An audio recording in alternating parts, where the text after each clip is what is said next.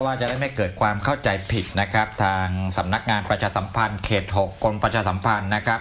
ก็จะขอแจ้งให้กับพี่น้องประชาชนที่ติดตามข่าวสารของอาแฟนเพจ NBT สงขลาอันนี้ชื่อชื่อเพจนะแฟนเพจ NBT สงขลาซึ่งเป็นเพจของสำนักประชาสัมพันธ์เขต 6 เนี่ยนะครับ ปรากฏว่า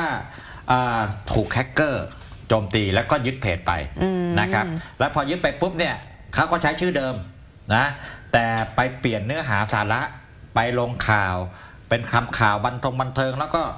ไปด่าคนนู้นด่าบูลลี่คนนี้อืมทำให้คนอื่นเกิดความเสียหาย เกิดความเข้าใจผิดกันนะครับ เดี๋ยวเอ๊ะทำไมเอ็นบีทีสงขลาที่ไปลงข่าวด่าชาวบ้านเขาทั่วไปหมดเลยนะครับ เพราะว่าเพจเพจเนี้ยนะครับโดนแฮ็กไปตั้งแต่วันที่ 1 ตุลาคม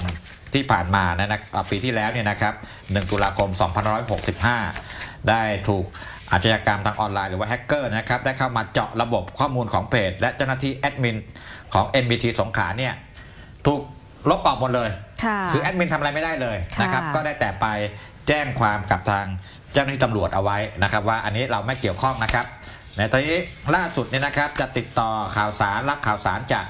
NBT สงขลาได้อย่างไรนะครับ เขาก็อ่า เปิดเพจใหม่ เปิดเพจใหม่นะครับ ชื่อว่า News